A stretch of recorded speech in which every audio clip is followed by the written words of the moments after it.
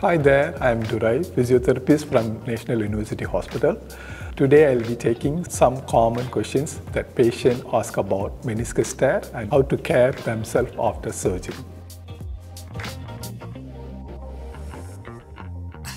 It is highly advisable for you to see an orthopedic surgeon who will evaluate the extent of your tear. If it is a minor tear, your body may respond well with physiotherapy treatment. If the tear is more complex, you may require surgery to fix it.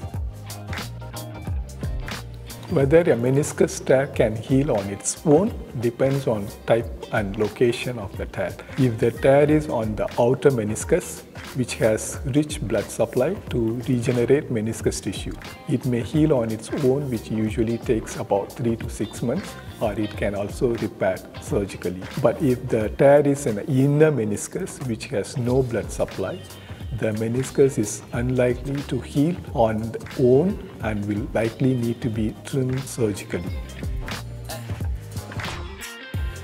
No. However, if the meniscus tear affects your daily function or athletic performance, you may need surgery. This would either be a meniscal repair or meniscectomy, a procedure to trim away from the torn meniscus that cannot be repaired.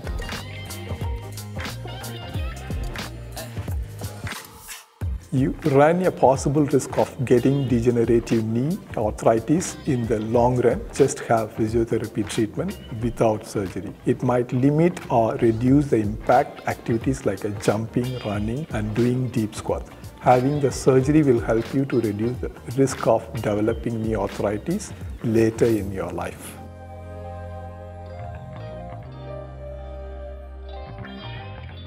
It is the best to follow the instruction given by your surgeon and your therapist. Compliance with your rehabilitation with recommended exercise and dosage will help you greatly during your recovery from the surgery.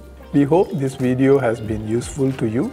Remember to take care of yourself when you do physically demanding activities. To find out more, you can visit our website in the description below or check out other physio related playlists in our channel. Thank you. Bye.